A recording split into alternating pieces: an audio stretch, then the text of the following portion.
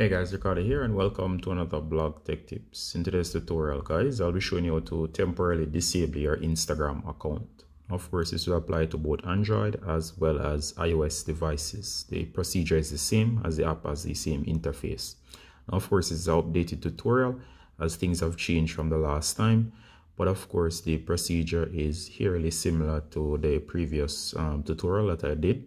However, many users might find that a change in the interface might throw them off, so they're not sure as to how to disable their account fully.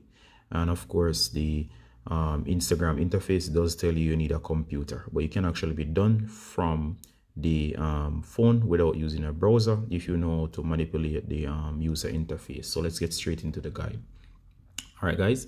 Now the first thing I want to do is locate Instagram. So go ahead and launch. Once you do, you should be on your Instagram feed, similar to seen here. Next, you're going to go over to your profile, which is the profile icon in the bottom um, right.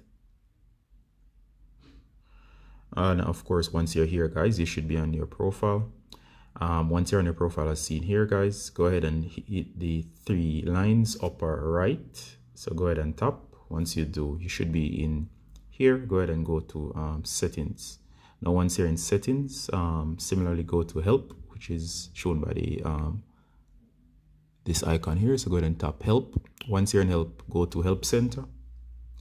And of course, once you're in help center, you should see the interface as seen here, which is the updated interface. So you're going to go ahead, guys, and what you're going to do is go ahead and search.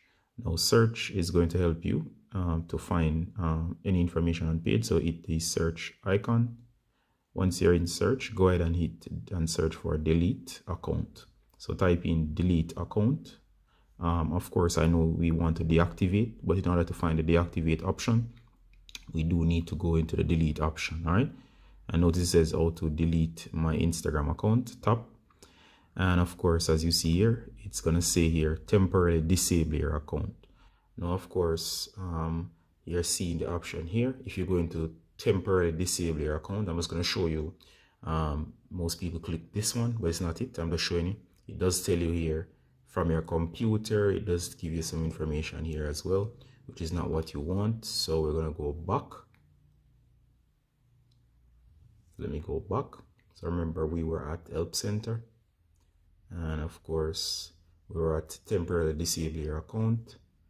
as shown here. So let's search delete your account let's go back to where we were all right so that's showing you um so we were here what to delete your account so just now we went into this option. We do not want to go there.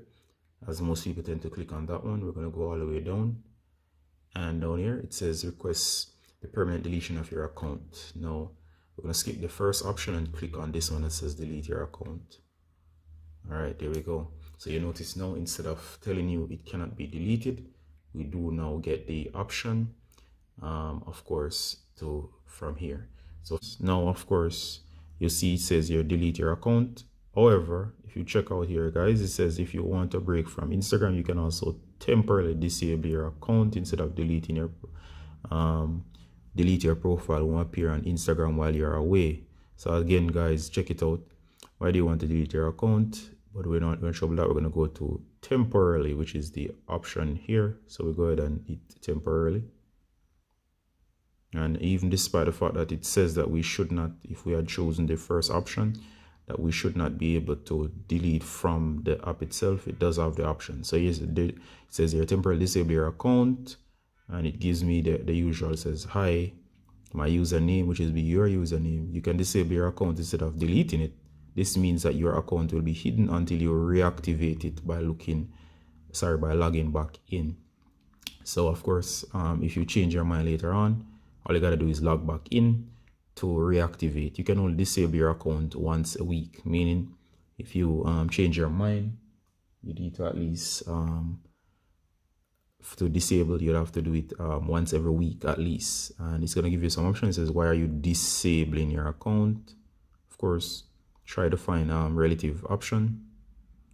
Um, for example um, I could say privacy concern or I could say something else if I want to be vague continue please re-enter your password. So you're going to type in your password which you should know. So once you enter your password um, of course you even give you an option to say if you forget your password but you should know your password.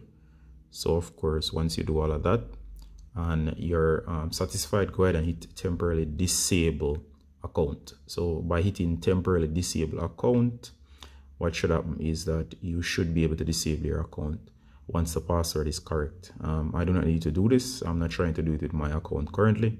So of course i'm going to show you just um, up to here. And of course once you hit temporarily disable account your account will be um, disabled.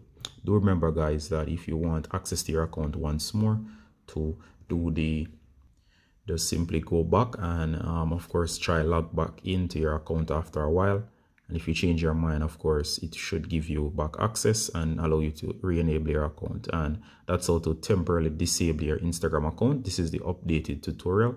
Hope you enjoyed the guide. As always guys ricardo from blog tech tips saying bye until next time. Bye